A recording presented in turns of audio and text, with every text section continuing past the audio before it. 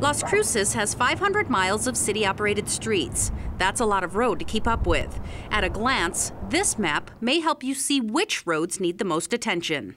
Red is pretty bad, and uh, we have a scale. It's about five colors, going from red to green, and you have intermediate orange and yellow. Red lines show roads in need of complete reconstruction. Green lines are new or just treated roads. So, how does the city decide which roads will get an upgrade next?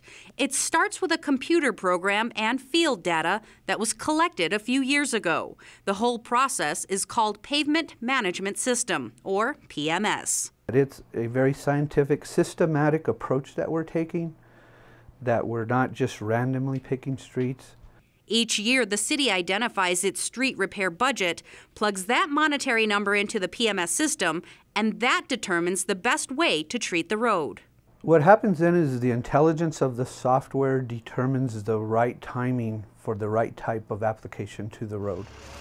The applications include, for example, pothole patching, crack sealing, pavement replacement, or full reconstruction. Several years ago, Cindy Place was recognized as a street in need of pavement replacement. It will soon undergo treatment, which will extend the life of this road for several years. What we do is we bring in a milling machine that removes the asphalt from the roadway. That asphalt is generally about two inches thick. And then we leave the base course, which is the gravel under the asphalt. We leave that in place, we recompact the base course, and then we put back three inches of new asphalt.